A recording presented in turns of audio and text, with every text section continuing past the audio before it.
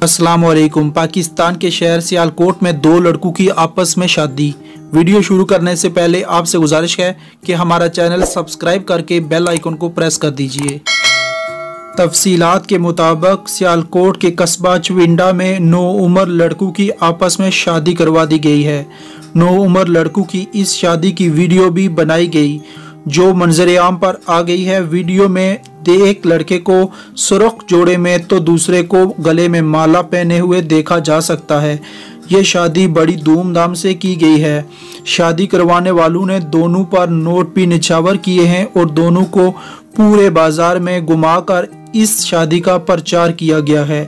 جہاں بازار میں موجود افراد بجائے اس غیر فطری اور غیر اسلامی شادی کو روکنے کے اس کو دیکھ کر خوش ہوتے رہے اور قانون نافذ کرنے والے ادارے بھی ستو پی کر سوتے رہے۔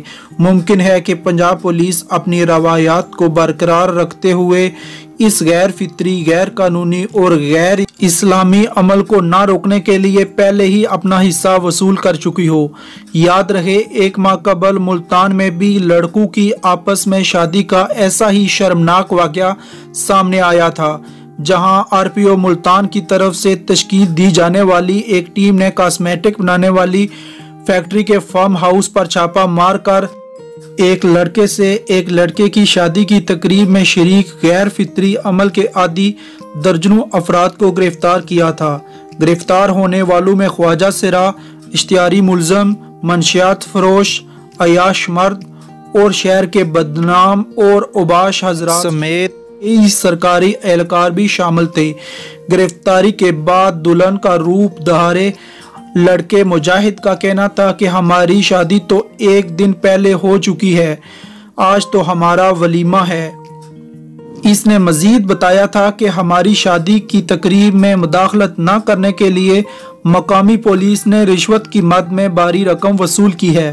اور ہمیں یقین دہانی کروائی کہ وہ ہمیں ہر قسم کا تحفظ فراہم کریں گے۔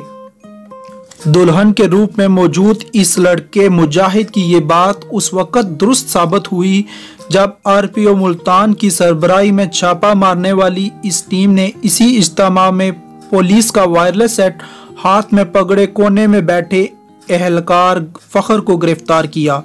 جو سول ڈریس میں تھا، ولیمے کی اس تقریب میں نہ صرف ملتان بلکہ دیگر اضلاع سے بھی قیمتی گاڑیوں پر آئے ہوئے درجنوں افراد کو گرفتار کیا گیا تھا۔ ایسی غیر فطری، غیر قانونی اور غیر اسلامی شادیوں کو روکنے کے لیے اور پاکستانی معاشرے کو تباہی و بربادی سے بچانے کے لیے حکومت وقت کو چاہیے کہ وہ اس بے روی کا شکار افراد کو کڑی سے کڑی سزا دے اور ایسی شادیوں میں معاون کا کردار ادا کرنے والے پولیس اہلکاروں کو نوکری سے فارغ کر کے سخت سزائیں بھی دے، ورنہ ریاست مدینہ بنانے کی دعوے دار موجودہ حکومت کے لیے صرف اسلامی ریاست کا وجود برقرار رکھنا بھی مشکل ہو جائے گا۔ ویڈیو کو لائک کیجیے، کمنٹ سیکشن میں اپنی قیمتی رائے کا اظہار کیجیے۔ ہمارے چینل کو سبسکرائب کر کے بیل آئیکن کو پریس کر دیجیے۔ ویڈیو اچھی لگے تو سوشل میڈیا پر ضرور شیئر کیجیے۔